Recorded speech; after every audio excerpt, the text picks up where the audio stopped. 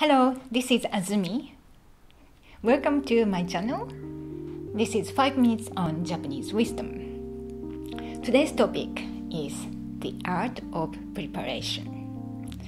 Junbi, yoi, shitaku, dandori. They are the words that we describe uh, the action of preparation. As you see, there are quite a lot, not only one word.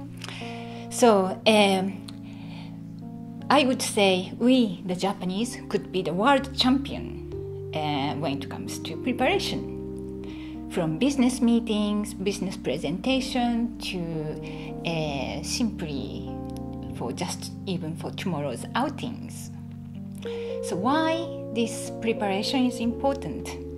Why do we spend much time on preparation? Is that from fear of failing, or is that from being a control freak, or is it is that just simply trying the best? Well, is this just for the best result? Well, when we look into the Japanese traditional culture practice, we can find the another deeper reasons, and that I'm going to share now.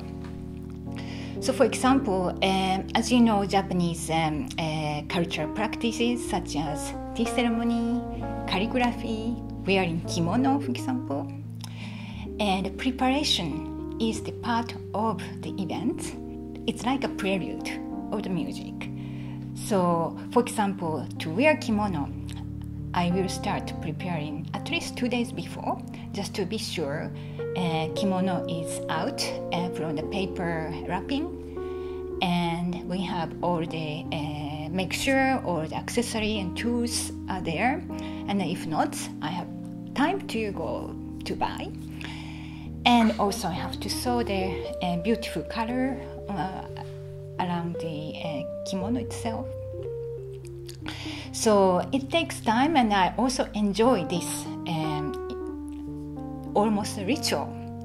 So this is how I learned uh, from my mother that uh, uh, preparation and also tidying up at the end. That's when I can do that, then I can wear kimono. So it was a co- complete package. So it's like way of wearing kimono, way of tea ceremony, way of calligraphy, like in Tao philosophy. Um, it's just the process or the journey of doing. That's the important. So we invest our energy into the actual event, but we are already in the event before the actual event happens. So that uh, uh, the entire process becomes more enhanced and the also it becomes a ritual the preparation itself and we have more peace in every stage of the event. So even for the business preparation well working with the um, yeah your computer writing um, quite rapidly it could look uh, it could be a stressful uh, it looks like a stressful um, action. Yeah you can also take a different approach in your mindset. So it's like enhancing the, the energy of the event. And it is like um, doing visualization in a way. So preparation is like the starter of the uh, main course. Uh, you can enhance the actual events. Also, it's like the prelude of the music. So, the preparation is really like the uh, enhancement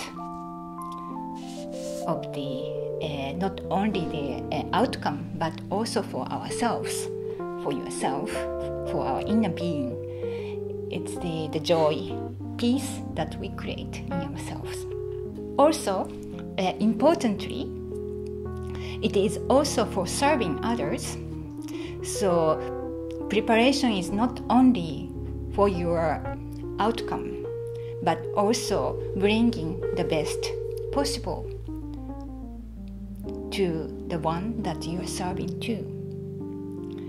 So if you focus on serving, your pre- preparation becomes more joyful as well.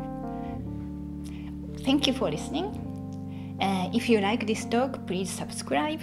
And uh, if you like to know more, um, please visit my website, azumiuchitani.com. And we have more uh, articles and videos. See you soon. Thank you for watching.